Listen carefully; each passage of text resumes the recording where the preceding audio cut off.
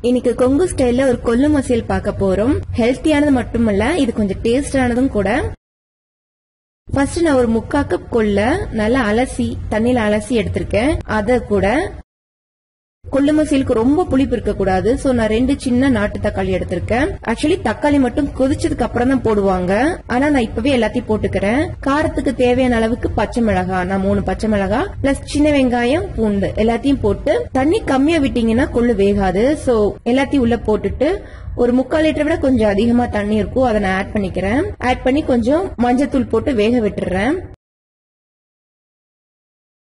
கொள்ளு நல்லா வெந்துருச்சு. இப்ப கொஞ்சம் உப்பு போட்டுக்கலாம். தண்ணி நிறைய இருக்கு. நிறைய தண்ணி விட்டு தான் நம்ம வந்து கொள்ள வேக வைக்கணும். இப்ப வந்து வெந்ததுக்கு அப்புறம் நீங்க நிறைய இருக்குன்னு ஃபீல் பண்ணீங்கன்னா இந்த தண்ணியை நீங்க எடுத்து ரசம் பண்ணிக்கலாம். ஆனா நான் என்ன பண்ணுவேன்னா பாதி இல்லாட்டி முக்காவாசி வெந்ததுக்கு அப்புறமே ஸ்டவ வந்து ஹைல வச்சிருவேன். சோ தண்ணி கொஞ்சம் காணாம போயிடும்.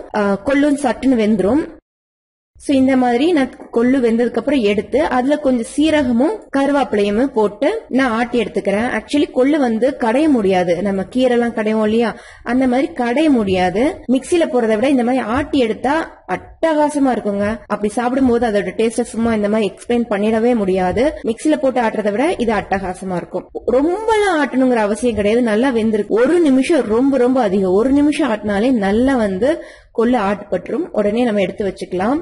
ஆக்சுவலி நான் இந்த டைம்ல தான் ஆட்டும் போது உப்பு போடுவேன். பட் முன்னாடியே போட்டுட்டேன். ஆட்டி எடுக்கும்போது உப்பு டேஸ்ட் பாத்துக்கோங்க அட்டகாசமான கொங்கு மசியல் ரெடி ஆயிடுச்சு. உங்களுக்கு வேணும்னா நீங்க தாய்ஸ் ஆட் பண்ணிக்கலாம். பட் தாய்ஸ் இதுல ஆட் பண்ணவே வேண்டாம். அவ்வளவுக்கு அவ்வளவு நல்ல வாசனையா ஹெல்த்தியா டேஸ்டா இருக்கும். கண்டிப்பா ட்ரை பண்ணி பாருங்க. ட்ரை பண்ணி பார்த்துட்டு எனக்கு சொல்லுங்க. கொங்கு ஸ்டைல் கொல்லு மசியல் ஃப்ரம் யூர் ஆச்சிஸ்கம் தேங்க்ஸ் ஃபார் வாட்சிங்